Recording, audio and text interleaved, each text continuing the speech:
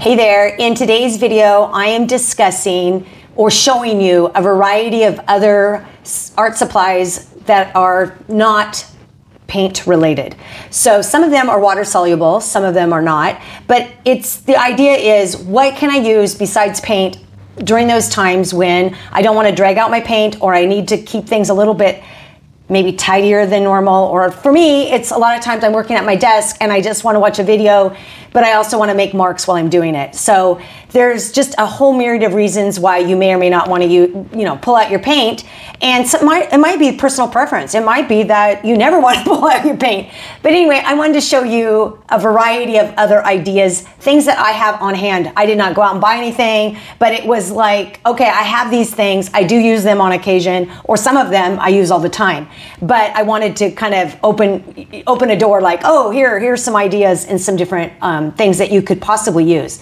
Again, the beauty of mixed media art is anything goes. So whatever you want to use, and in whatever order you want to use it, and however you want to use it, you can. And so no rules. That's that's what I always that's what I love about it is that there is just so much freedom and the ability to be creative using whatever uh, medium that you like and however you like to use it. So, anyway, enough of that chit chat. Let's get started with the video. The first thing I wanted to show you were color, more colorful, or yeah, I guess more colorful is the best way to put it. Uh, things that you can use that are water soluble. So, for example, I of these you can see I've hardly used these. I use these um, Neocolor 2 water soluble. They do make these crayons in a non water soluble, so you do have to get the, the number two uh, in order for them to be water soluble. I like using these in an art journal, particularly when I am like let's say i'm watching uh, an art video i'm doing something else i'm listening to something but i don't want to have paint or anything like that. I love taking these crayons and then i can activate them with a water brush or something like that or just leave them as crayon. It's it's your choice. So these are great they're water soluble. This is a set you can see it's pretty bright for me. I've just i've held on to them because I do occasionally use them. They are called uh, Faber-Castell gelatos, and they are kind of rich and creamy as well, kind of lipsticky like in a way, and they are water soluble. I don't use them as much just because I don't feel like I have colors that are true to me as much, um, and they, but they are also another option for uh, it, it's you know water activated. And then I also have these Inktense blocks, which I also have not used a lot. I think what happened was in the early days I bought supplies because I you know was learning, and then I discovered that I prefer. You can see the color palette here. I prefer a more muted color palette, and I found with some of these uh, other materials, it was trickier to to get them to the color that I liked. Although I can see a color here that I probably like, like this green, this olive green. So you you know, I but I also don't want to get away get rid of everything because I could also use these, bring these over, and and then activate them with water. So when I talked about earlier, like I primarily use acrylic uh, paint, but as in a mixed media way, I also like to incorporate other things. So I might use this to scribble on the page ahead of time, or these other supplies I'm going to talk about I like to be able to bring in all all variety of things. So these are one option for bringing in color, for you know messing around eh, with color when you don't want to bring in paint. So I'm going to move these aside and show you the next, the next thing. thing I want to show you is or talk about is charcoal. I love charcoal and it is water soluble and it is super messy. Although I suppose you could use like these pencils and it wouldn't be quite as messy. And even the this these pencils aren't as messy. But uh, obviously, if you're using a chunk of charcoal or a willow charcoal, there's just a variety of different charcoals and looks that you can get in terms of the black. I have a charcoal white charcoal pencil as well. And then my favorite, my absolute favorite, is these big chunky extra large Derwent charcoal blocks. Love them, and you can see they're well used and well loved. And they just they can be bold, they can be they can be used on top of things and ground in and create just beautiful colors. The colors are just amazing. So this is a you know another way to use non another option for not if you don't want to use paint. so I'm going to set these aside and show you the next thing. Another personal favorite are the Stabilos, and they to me kind of are similar to a um, to the charcoal, but the Stabilo seems like you know it comes in pencil form, and it also comes in these woody forms, like like um, chunky, woody, heavy, thick, like children's kind of thing. And they're water soluble, and they mark on just about anything. I do have them. I primarily use them in black. I do have blue and red, and I have a brown.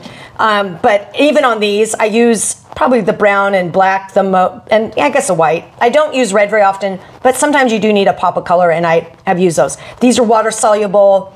I use them a lot. They make great marks, and the pencils are pretty inexpensive as a great way to get started, like two or three dollars a piece. Uh, and maybe even less if you were, you know, inside or, or, in a store, or if you um, found a set, set of them. So I'm going to set these aside, and we'll go on to the next thing. Okay, the next thing I wanted to show you uh, is graphite. And not all graphite is water soluble, so you do have to kind of check and, and see what you have. For example, though, again, I don't use them as often as the charcoal. I do love these thick, chunky, extra large graphite Derwent. They're the, they're similar in size to the to the charcoal blocks I have. Love them, and they are water soluble. I also really love these and I can't even see the name, Lyra, Lyra pencils. They come in water soluble and non water soluble. So this one here is non water soluble. I don't use it quite as much. I do like how water soluble, I like how it, you just, the unexpected results that you get. But this one is great for also having marks that are going to be seen and that will last a little bit longer. I also have these Derwent pencils that are graphite in different colors, kind of muted, and they are also water soluble and they're super fun to use and easy to use. And I also will sometimes use these when I am, you know, sitting and I don't want to pull out paint. So I will just do some sketching. Not, eh, I don't really sketch a lot, I'll be honest, but I use them to make marks or different yeah, marks, I guess. And I, ha- I do sketch, but not not uh, not as much as probably most people do. Then, last but not least, is just your traditional pencils, and these are non-water soluble, so they will they will not activate with water. But I have these are just you know uh, artist, not art, even art. I mean, I don't know what that is. Staedtler. There's all you can just you could use the number two pencils. It doesn't really matter. Faber Castell. They all everybody has them. I sometimes I have bought a few different brands just trying them out, and I don't use pencils a lot in this in the traditional sense, like just sketching out a, a, an, a picture or an image. But I like to make marks with them, and I and I do and I do use them just on occasion to to do some sketching. But I, I don't I sketch I, I always say I sketch with my paint. So but these are just a lot of options. So I'm going to set these aside and show you the next thing. The next thing I wanted to show you are soft pastels. I have a great, a beautiful collection of soft pastels here, and they're actually on the newer side. Um, I, I had a ton, and then I just wheedled them out and thought I'm just going to keep the ones I absolutely love, and the, I really love certain brands and the softness of them. So this is a set that I have here that I use. Uh, and then I also have a set of Derwent pastel pencils. And this is another fun tool to use. These are kind of messy, I'll, I'll be honest. So I don't typically take take these and sit at my desk and watch a video or you know somewhere. Whereas these i can do that because i'm not gonna my, my, my whole hand isn't gonna be covered in pastel you know shave not shavings but powder. And then it's going to get all over everything. So when i'm when i'm not making art and i want something less messy i will grab these different kinds of pencils and pa- these pastel ones are good for that as well. So because i do love the look of a pastel and the performance of a pastel and it's just it's just another great option in mixed media art the next thing I wanted to show you are oil pastels. And I, these are also something that you can use that are not messy and you can color with the, them on whatever part, you know, thing you're working on. Any, you can work on an art journal, you can work on canvas, you can work on whatever substrate you happen to be having.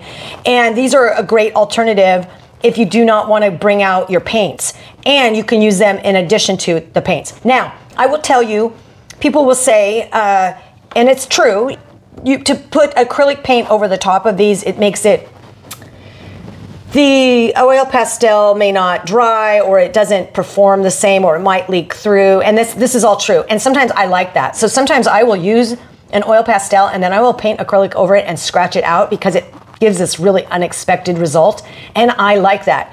That's the beautiful thing about mixed media art is you don't have to adhere to the rules of traditional artists if you are an oil person then you would never do this but as mixed media artists I feel like we can we can we can break all those rules.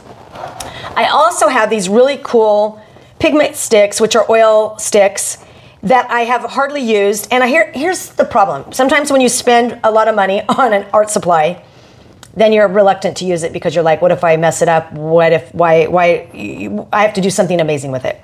So I'm going to try to break my own rule, which I break my own rule, which is you got to use all your art supplies because they're they're just not languishing. I mean, you've already invested in the money, so use them. So that's my next goal is to start using these, uh, find ways to use these pigment sticks. And I think for the most part, I would use these at the end on top of whatever other acrylic painting I was doing because then that would allow the dry time. Then I would allow the dry time for these because these will take time. It's like oil paint, essentially, in a stick form, is the best I understand it. So, last but not least, I have these pencils, or I don't know, they're not really a pencil. They're called a China marker, and I have it in red. Red. I do not have red. I have black and I have white. Wow. Um, and they write over the top of anything and everything. And so I actually have bought two new black ones because I went through my other black one and um, and then I got I have white ones too, which I don't use the white quite as often as I use the black. The white to me doesn't show up as boldly as I would like it to, so I tend to to use the white or the black more often. But these are great and they're fairly inexpensive as well. It's another mark making addition to your supply if you're looking for something else to add to your your repertoire, so to speak. Okay, last but not least are markers and the, I want to use markers more. I thought that was a Posca marker, but that is actually called a Bistro chalk marker, which I'm not sure. I think you can use it on a chalkboard or something. That's not what I meant to grab, but I do have it, so it probably works.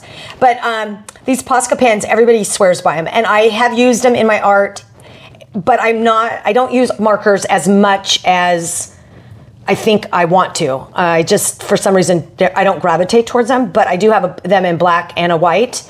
And they're great for mark making. And again, it's a no mess situation. So if I had a page in my art journal, I could just be making all kinds of marks and there would be no mess. And I like that idea. I also have random markers that I have picked up through the years, and so I keep those on hand with in different kind of more muted colors. Just again for making marks and random things in books. I don't use markers uh, as much, probably my least of all of these uh, these supplies that I have mentioned. So anyway, I just want to give you some ideas for other types of non-paint uh, supplies, art supplies that you can use in your mixed media art because anything goes, anything goes. And I'm, I'm sure there are so many more things that I'm not even thinking of, which I guess I could grab over here. I mean, actually, just even traditional pens. You could use a pen in your in your uh, uh, art, your mixed media art too. I didn't, I did not think to bring that up. And some pens will be water soluble, and some will not. So it just depends on what you're looking for.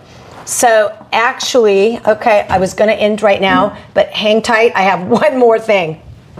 Okay, I totally spaced but I have a whole set of the Faber-Castell Pitt pens. And I used to use them a ton when I first started making art, so I'm assuming some of them may be dried out, but you can see this is a huge bin of them. They are great because when you first put them on, you can actually move them around uh, just with your finger or with a water, and then they are permanent when they dry. So they are really great for that. I just, like I said, I just don't use markers that often anymore, but this is also, these are really great, and they come in really pretty sets and different sets, and I'm sure you could get them, you know, on sale or um, or get a few just to try out. So this is another great option, and they are know, they're just a really beautiful marker. So that honestly sums it up. I do not see, I cannot see or think of anything else at this point. But there are, it just just shows you there's a world of art supplies out there. Pick and choose wisely so that you don't end up like me with a thousand different things. But you know, it is fun to try and it is fun to sometimes um, reach for something new and unexpected because you just don't know where it might lead. And I think that is the beauty of mixed media art. So I hope you have fun exploring and go dig through all your drawers and pull out all your art supplies and see what you have and start using them.